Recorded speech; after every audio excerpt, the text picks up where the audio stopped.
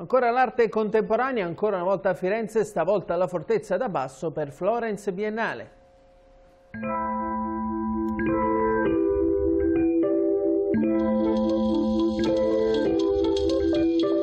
Dieci giorni all'insegna dell'arte contemporanea, il tutto alla Fortezza da Basso fino al 15 di ottobre. È l'undicesima edizione di Florence Biennale, 462 artisti provenienti da 72 paesi di tutti e cinque i continenti, protagonisti di questa kermesse che quest'anno si snoda intorno al tema Health, creatività e sostenibilità. Più di 1300 opere esposte in Fortezza da Basso su 8000 metri quadri di padiglione espositivo, sono 72 nazioni rappresentate quindi tutti e cinque i continenti che espongono eh, appunto un panorama dell'arte contemporanea a 360 gradi gradi con la possibilità di incontrare direttamente gli artisti che sono presenti in Biennale e con i quali appunto si può parlare per poter anche fare delle domande, chiedere, avere delle eh, spiegazioni se questo è necessario e poter eventualmente anche eh, entrare direttamente in contatto con loro per vivere il loro modo di fare arte. E non mancano le curiosità, come un'artista danese portatrice di handicap che dipinge con la bocca,